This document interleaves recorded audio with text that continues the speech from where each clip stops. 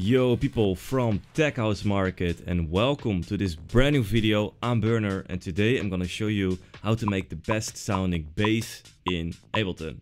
And we're only gonna use stock plugins, so for the people who only have Ableton but no other synthesizer like Serum or Sylenth or whatever, this is just pure stock samples. So everyone with Ableton can use this. We're gonna use Operator, which is Ableton's built-in synthesizer, and I'm working with Operator a lot. You can create very cool sounds with it. I already make this super simple bass line.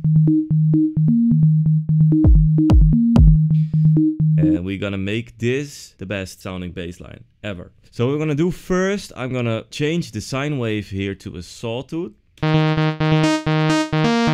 So I'm gonna shape this a little bit. Set the decay to this.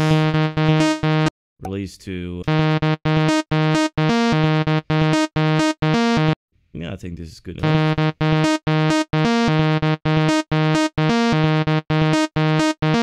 And now we're gonna go into the most important part, which is the filter.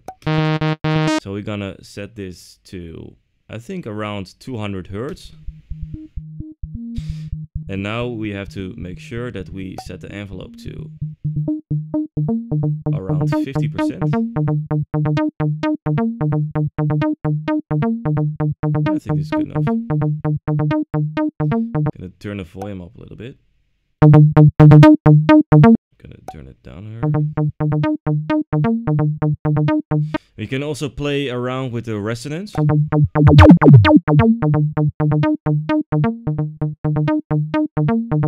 And what I'm gonna do next, I'm gonna add a Drum Buss to this to make it sound a little bit warmer. And I think I'm gonna play it lower like this, better.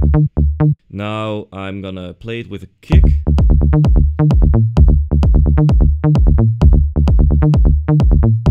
Uh, how I like to sidechain that is with Kickstart 2. It's extremely simple to use. I'm gonna sidechain the audio from the kick. And then you have this function over here, the bend function. And right now you can set this till which frequency you wanna get the sidechain effect. So sometimes you wanna have the more mid high mid parts not to be too much sidechain so you can, you can change it with the bend so now it's only sidechaining everything underneath 300 hertz just hear it with a with a headphone.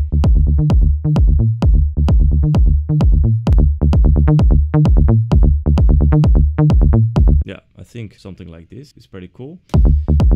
And now i'm gonna open up an eq gonna cut away all the high frequencies.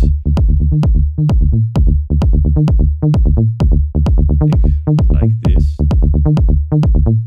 You can also cut away all the frequencies underneath like 20 hertz to make it a little bit more clean. And I like to peak it here a little bit around 60 hertz.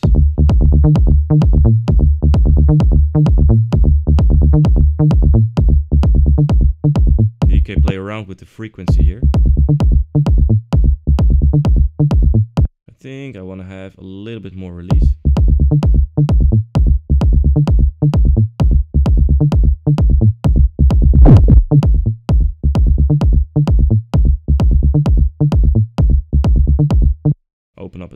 Just a bit more.